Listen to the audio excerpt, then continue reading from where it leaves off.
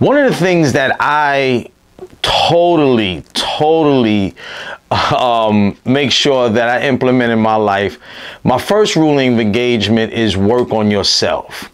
Every day I do something that will make me better.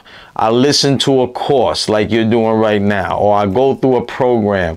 I'm part of some type of empowerment series. I listen to motivational speaking.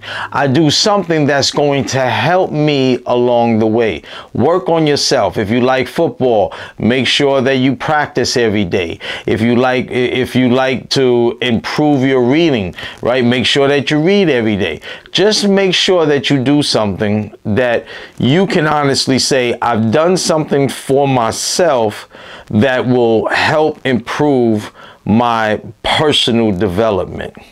And whatever that is, just be clear that you should do something every single day that will that as you will consider as working on yourself. See you in number 2.